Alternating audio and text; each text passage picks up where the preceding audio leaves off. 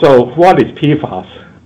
Depending on which agency or which uh, R&D uh, research uh, center you ask, uh, essentially, right now, PFAS include more than 12,000 chemicals. And with PTFE, uh, the Teflon is probably the most popular and well-known PFAS. And they can be monomer, they can be polymer, they can be polymer in any form, solid, coating, aerosol. They are all considered as PFAS.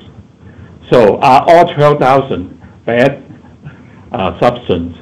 No, they are not all bad. So far, uh, medical studies has identified two, uh, PFOA and PFOS, and several of its derivatives with similar chemical structure to be of immediate concern on health. By health, uh, they are talking about health uh, uh, effect like cancer and birth defects, and that has been medically proven. So, where do we find PFAS? Unfortunately, I mean, unfortunately or fortunately, the answer is everywhere. For example, Teflon, PTFE, is probably one of the quickest inventions by DuPont. You can find it everywhere. In your fry pan, if you order a pizza, your pizza uh, uh, box has, has a PTFE liner so that the pizza doesn't get stuck on it. It's everywhere and tap water. Your water is PFAS, is Teflon. and now, uh, the problem is that some of the bad PFAS that I talk about, PFOA and PFOS, they were used as surfactant and precursor for Teflon prior to 2014. So even though uh, Teflon has not been manufactured involving any PFOA and PFOS, they uh, PTFE from time to time uh, is being lumped together with the bad PFAS.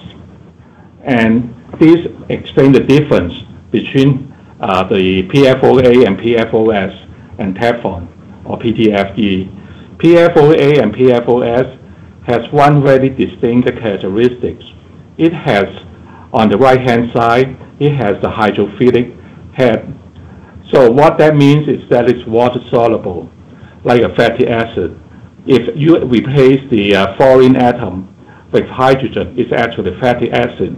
Because it's water soluble, it can enter your bloodstream through the intestine, and that make it wet, uh, that make it harmful because of the effect it can accumulate in the human body. I'm not a biochemist, but with the hydrophilic head, it can react uh, uh, biologically and cause mutation and all those um, cancer and birth defect concern.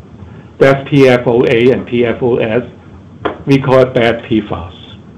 Okay, this is a term uh, NEMA start to use, and um, we all know who NEMA is, uh, National Electrical Manufacturing Association. What they are trying to do is explain the difference between electrical PFAS the PTFE or the uh, P, uh, related PFA and FEP, they are the mold grade or PTFE, and they because it is 100% hydrophobic, and that's why water doesn't stick to it.